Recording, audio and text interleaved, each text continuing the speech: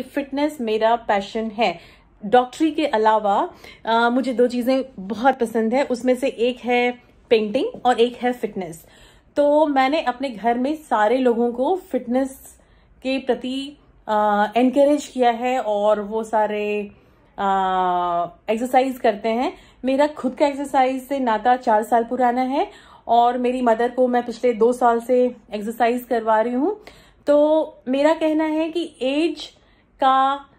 exercise से fitness से कोई लेना देना नहीं है इन द सेंस कि कोई एज नहीं होती एक्सरसाइज करने की, और जितना जल्दी आप उसको स्टार्ट करेंगे, आपका हेल्थ उतना ठीक रहेगा, आप उतने फिट रहेंगे, और प्लीज़ इनकॉर्पोरेट कीजिए अपने लाइफस्टाइल में it is a part of your lifestyle so make it your own और आज मैंने बहुत ही मुश्किल से मैं